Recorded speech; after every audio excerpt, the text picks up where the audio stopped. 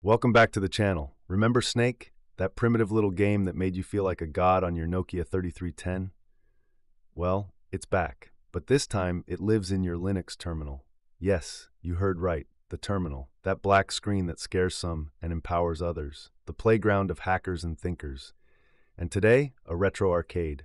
The game is called nsnake. It's open source, it's minimal, it's pure ASCII, like a poem written in code. Installing it is simple.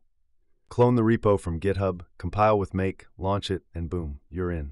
You're greeted by an old school screen, matrix style text, a basic menu. No ads, no loot boxes, no tracking, just you and a hungry snake. Move your snake with the arrow keys, avoid the walls, eat, grow, and wait for that moment when you get too long, too fast, and inevitably, you crash into yourself. It's the simplest, truest kind of game you can play today, and maybe a metaphor for modern life. You run, collect, grow until you collapse into yourself. So, why do I recommend nsnake? Because it's pointless and therefore freeing, because it's outdated and therefore honest, because it's ridiculous and therefore brilliant.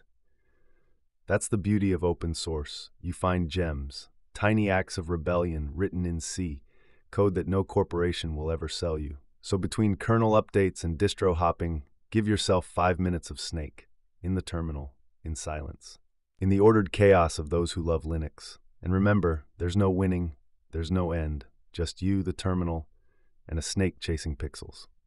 Thanks for watching.